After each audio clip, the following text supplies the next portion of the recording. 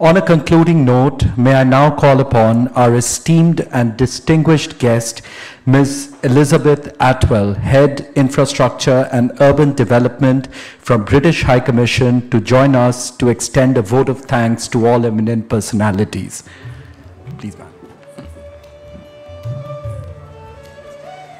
Thank you and um, almost good evening. I think it's just me that stands between you and the weekend, so I promise not to be too long. Um, but I think it would be remiss not to say a few words of thanks to everyone that's put their time and effort into this. So I would like to start by saying I'm really delighted that the UK has been able to support and support an event and showcase some of the UK expertise and experience to date. So thank you very much to those that have attended to do that.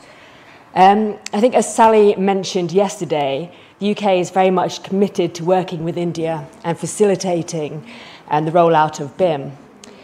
So let me first um, thank Abhishek and the work of Niti Aayog, um, and of course Shobik, who's disappeared to out there, um, from our very own British High Commission, also right in front of me, um, because obviously you put a lot of work into conceptualising this event, so thank you very much, and I think bringing everyone together has been really valuable.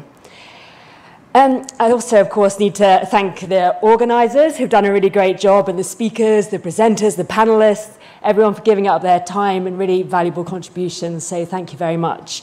Um, it's been a really successful event, and that's in large part due to all of your contribution. Uh, as somebody who loves data and optimization, I really enjoyed seeing the demonstrations of how BIM is being used in practice in India. Um, I think the range of expertise has been from, um, from academia to implementers. That's given us a very rounded understanding of the opportunities and the challenges that BIM presents. And there's been so much valuable experience in the room, and this will help us progress this very important agenda.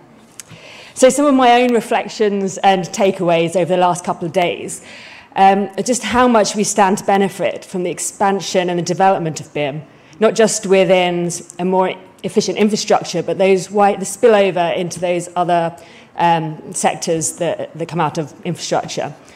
So my team at the British High Commission, we work on infrastructure, but also climate adaptation and a very big piece of trying to look at climate finance.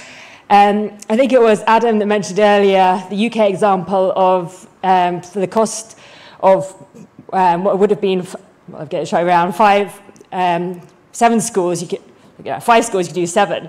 So uh, huge efficiency gains that can be there. So I think this is vital as we move forward to trying to meet that finance gap. You know, the efficiency is actually a really important way because at the moment we, there isn't enough financing in the sector.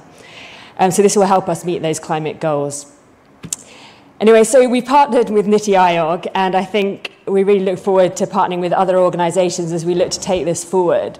Um, and as I bring it to a close, really valuable connections that have been made today. Let's build on those connections. Let's take these forward.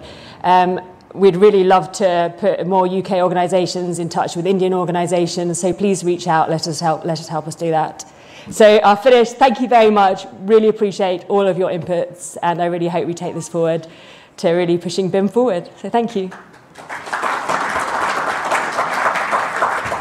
Ms. Atwell, can I request you to please be on stage with us for a moment longer? And may I request Mr. Shobik Ganguly to hand over the memento to Ms. Atwell?